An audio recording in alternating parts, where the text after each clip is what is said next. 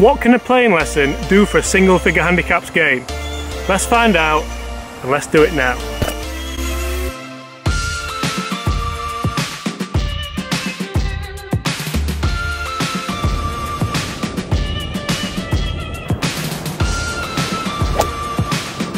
That was great golf swing. Stay there.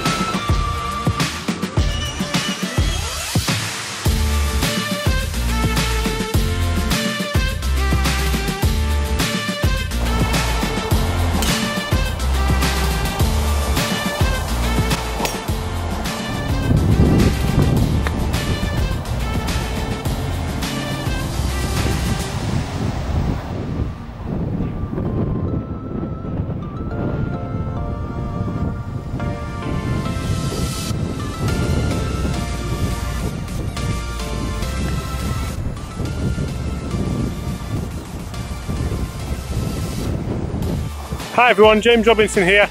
If you're new to the channel, make sure you consider hitting that subscribe button.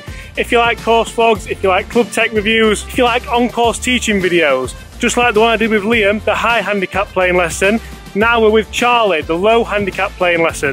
What do you guys think the difference is? Comment below, what difference would you see on the golf course, technique aside, from a high handicap to a low handicap? Let's see if we can start as we need to go on and hold these putts.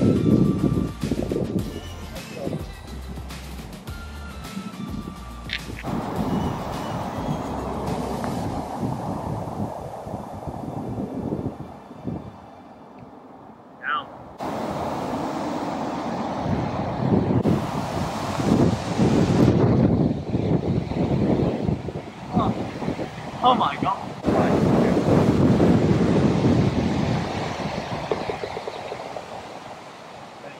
Okay everyone, now we're into the video. I'm going to introduce you to Charlie. Charlie is a five handicap. Yeah, that's right. So Charlie's a five handicap, plays here at Huddersfield, also plays at Lightcliffe. Charlie, what would you say are your strengths and weaknesses of your golf game?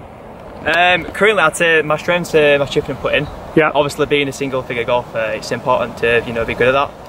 I'm currently struggling on my long irons. You know, I've always, I've always, you know, found it quite tough. And That's so, good because we've got 190 yard par three coming up. Exactly, yeah. So we're going to be interesting to see how I get on. So. Okay, good lad. And Yeah. what are your goals, aspirations? What do you want to achieve? Um, definitely get down to scratch. That's my long-term goal because obviously, you know, it'd be great to be scratch, and I've played for a long time. So. Okay, right. Definitely. Charlie does have his own YouTube channel. We're going to talk you through that a little bit later on in the video, but it is Charlie Jaffrey Lifestyle. Go check it out if you haven't seen it before. He's new to the scene, but I'm sure he's going to cause a few shockwaves. Let's hit these tee shots. I'm going to hit four. You in the far line? Yeah.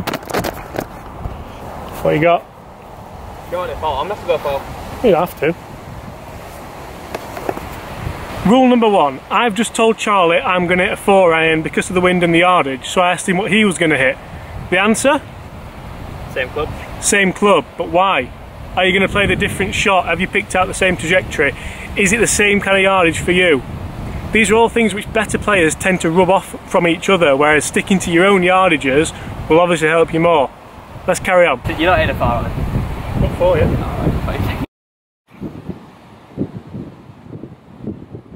Look at the trajectory I'm going to try and send it up.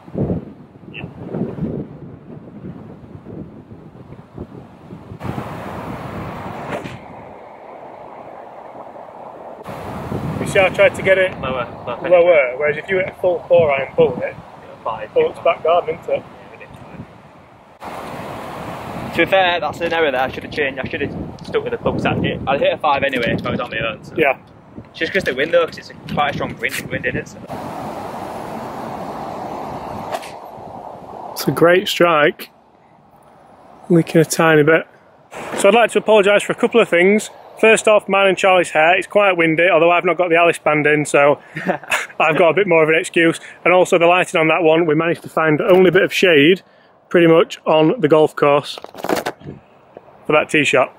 Let's get down there and see where they are. I think we've both missed the green actually. Charlie, just as oh, I've got him with the Alice band off. Yeah. Char- get it off. Need to get the hair sorted out. Charlie, just as we walk into this green, talk to me about your handicap history. How, did it rocket down, or did you find yourself steadily going down? No, it gradually went down. Um, obviously, I've always wanted to get down to single figure golf, and so ever since I started, I wanted to make sure you know that I work hard, train hard, put the hours in, and it's just gradually come down. It's not been a big jump, a big leap. Yeah. Something that's just slowly. But you down. find you've plateaued a little bit at five, so that's the reason for the playing lesson to try and get yourself Yeah, to that next level. yeah, definitely. I mean, I, I'd like to think I'm off three or four, or maybe Yeah. two, pushing on two. But again, it's just trying to you know put the hours in and hopefully you know tweak those little things to get right. Absolutely, good Yeah. lad. So I did a little bit of work with Charlie in the winter last year. We looked at a few different things. We looked at compressing the golf ball better. We looked at keeping the club face square for longer, and it's definitely paid dividends for him. One thing that he lacks is a little bit of confidence. I'm looking at him, but he won't mind me saying that. If we can instill some confidence in him with a few different shots on the golf course, I think that'll get him down, not yet to scratch, but I think it'll get him down definitely from five, lower to the two and threes. Let's carry on.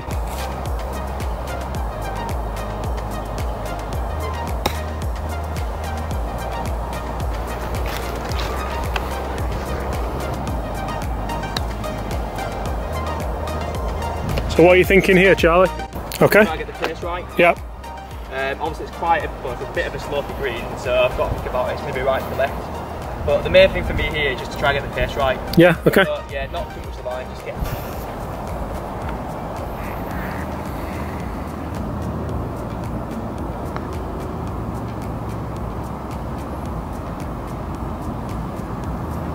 Didn't quite work out there. So first thing to think about was pace right. Uh, no, pace was totally wrong there, just misread that all, but misread the pace, should I say. Do you think you paid because you were talking about the pace? Yeah. But do you think you maybe thought too much about the slope and the break on it? Yeah, probably. Even though I was focused on the break, as you say, I do feel like you know maybe I did play too much into the break, which I do Okay. sometimes do.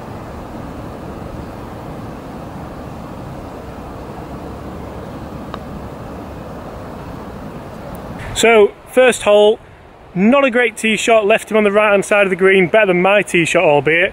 And then three putts. We spoke a lot about distance control with the putter. Then it sort of let us down, didn't it? Yeah. So, what do you think happened in the first putt, should I say? The second putt wasn't a good putt, but it was definitely down to the first putt, wasn't it? Yeah. You can put your you can put your band back on. No, I'll keep that. It's alright. I'm not sponsored by Nike. um, yeah, obviously the first putt let me down. It was pretty disappointing, but you know, for me, I get the pace wrong sometimes, and I do read quite a lot into the breaks. Yeah. So. Did know, you take into account the downhill slope looking at it? Um, now that you said it, probably not as much, but I think with hindsight, I think that I was looking too much into the break. Yeah. Just have a just to go back where we were. Have you got your putter as Yeah. well and a ball? Yeah. and I want you to aim. And this can be a great point for people picking points of aim rather than just thinking, oh, I'm going to go short and a little bit right. So, Charlie, I want you to aim at that T peg there.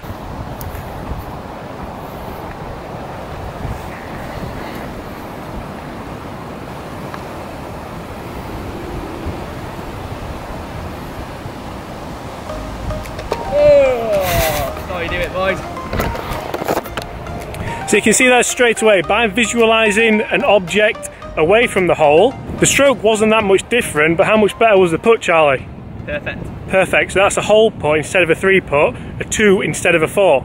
Let's get to the next tee. So while we're walking to the next tee, I just want to make a quick point that if you have seen my high handicap playing lesson, you'll note that green reading was part of the problem there as well. And by problem, I suppose problem is the wrong word. It's not a problem, it's part of the equation. The equation to reaching your goals, the equation to getting your handicap down, the equation to enjoying your golf more. Just because you are a high handicap or a low handicap doesn't necessarily mean you are going to be good at green reading. You are going to be good at putting, bunker shots, tee shots. You are your own handicap for a certain reason. You'll have your strengths, you'll have your weaknesses. That's why at the beginning of the lesson, the first thing I did with Charlie was ask him strengths and weaknesses. Let's get to that next tee.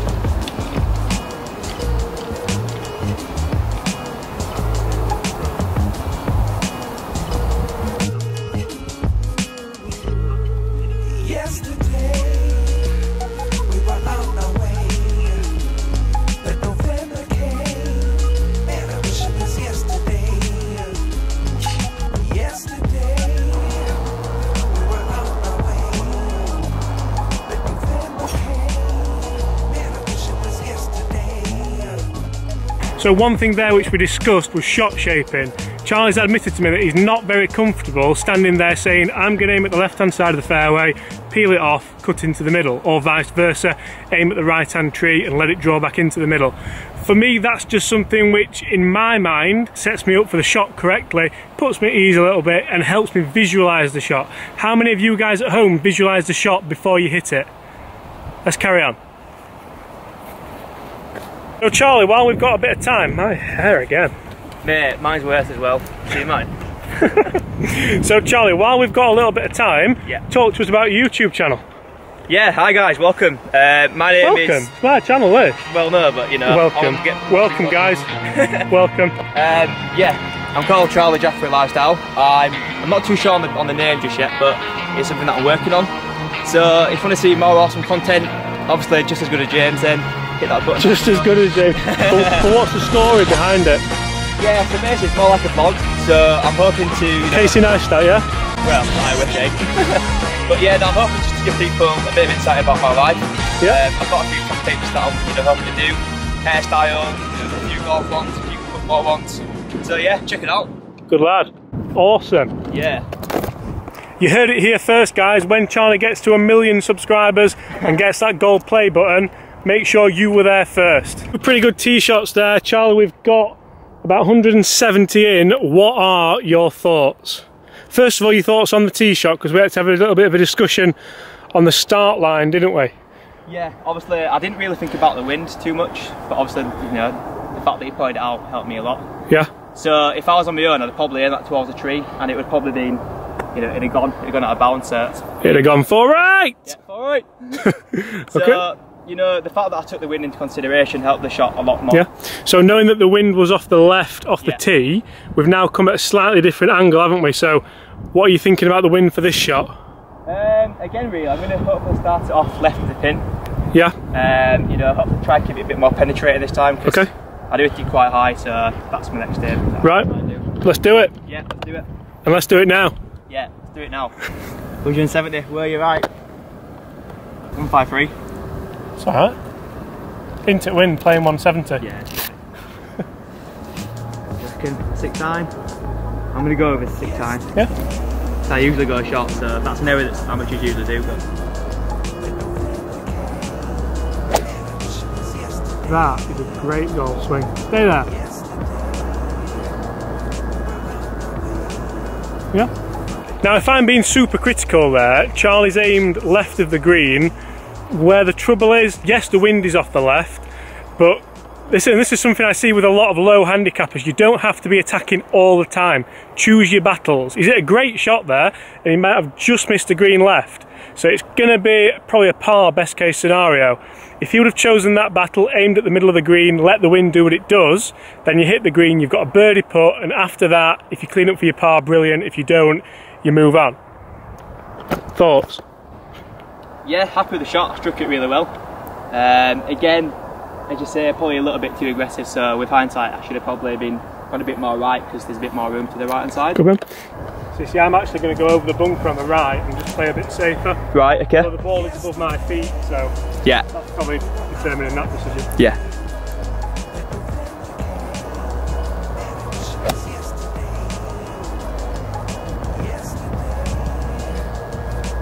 Yeah, nice shot. Beautiful from J.J. Robinson golf player. So another one for you there. Do you choose your battles? Do you go after the right flags or the wrong flags? Do you go after all the flags? This guy does. I do. So you can see Charlie down there. Missed it left. Quite a difficult shot. Not too bad, but you don't really want it, do you? Whereas, and in, in honesty, I'm going to say that Charlie put a better swing in it than me. It was a better contact, it was a better motion, and it was a better ball flight. Whereas I chose a different line. I went over the bunker on the right hand side, and I've got that. So make of it what you will, but I'd much rather have that than that. Come on, Charlie, make me my word. Chip this in. Short games of strength, yeah? Yeah, of course it is. It's a hanging lie, though.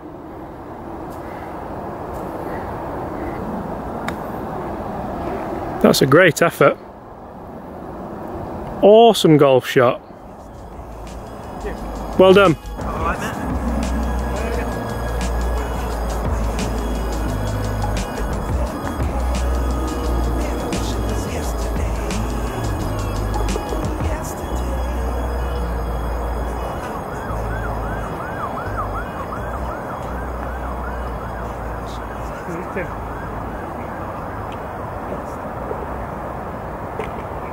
You can see there that distance control on putting may be something that we want to work on in the coming future if he's going to get the handicap down into the ones, twos, threes, maybe even down to scratch. Okay everyone, that rounds up part one of the low handicap playing lesson. Make sure you hit that subscribe button if you want to catch part two. You don't want to miss what's coming up. That's it from us. I'm James Robinson. That's been Charlie Jaffrey. If you've enjoyed that, make sure you hit that subscribe button and we'll see you soon.